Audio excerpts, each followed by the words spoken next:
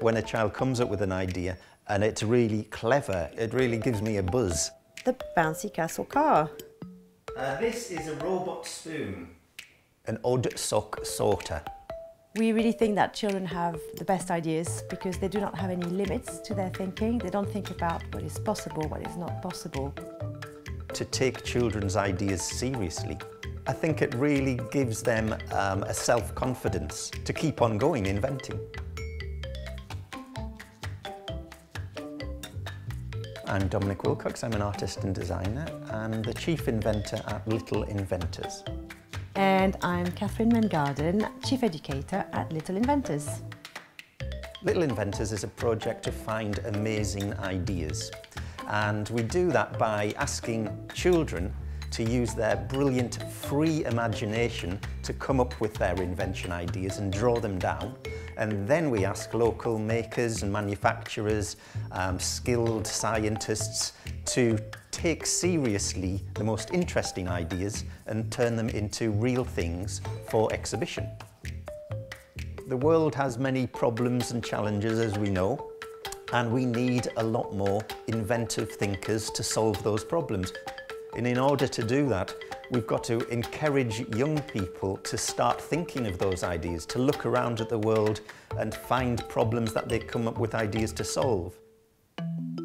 I think what I like about the word invention or inventor is that it's a very friendly word. It's a fun word in a way.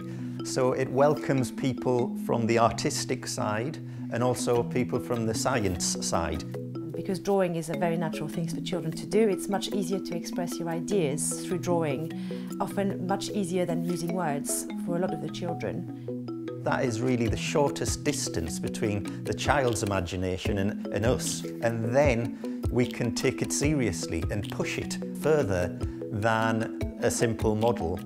The way we work is we create challenges uh, for schools generally or for museums or for organizations. The principle remains always the same. We want to invite children to draw invention ideas. And then the best ones, the ones that we call the most ingenious ideas, we ask makers or designers and artists to bring them to life.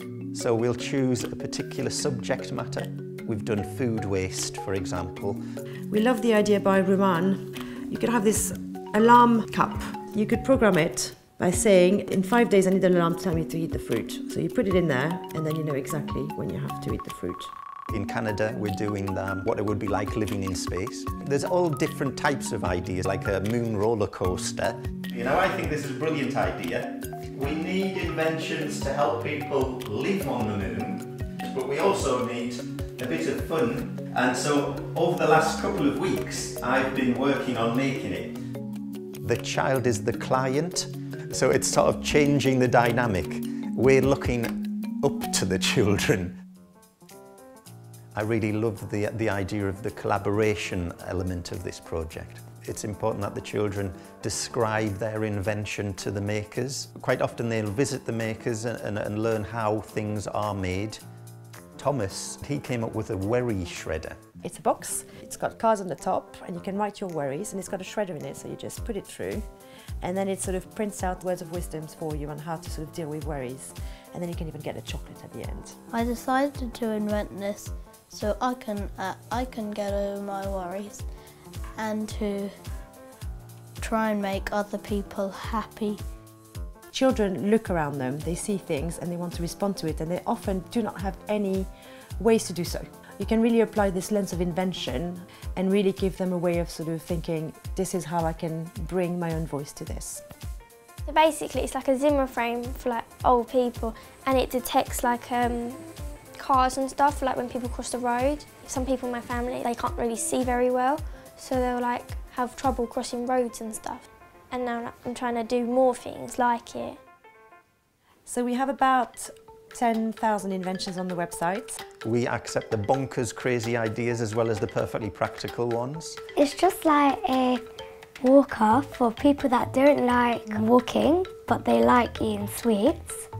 I invented it for my sister to stop moaning and now she stopped moaning. It's good now. She stopped moaning but she still moans though. I have to get another invention to stop her from moaning even more. That is really one of the aims of, of Little Inventors, hopefully encouraging children to gain a passion for invention. Emily is, um, is autistic, she's got sensory overload really, so um, loud noises can be a real problem for her.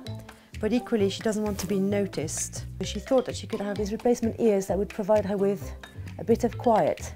After all this, we received a, a fantastic message from her parents who said having done that gave her real confidence in her own ideas and apparently we can't really shut her up these days, so there we go.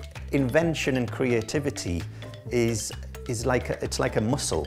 And if you stop using it, if you stop doing it, you, you lose it in a way. And that's the thing about creativity. That's why it's so important to encourage children to be creative and then get it through to adulthood where they can really do things that make the world a better place.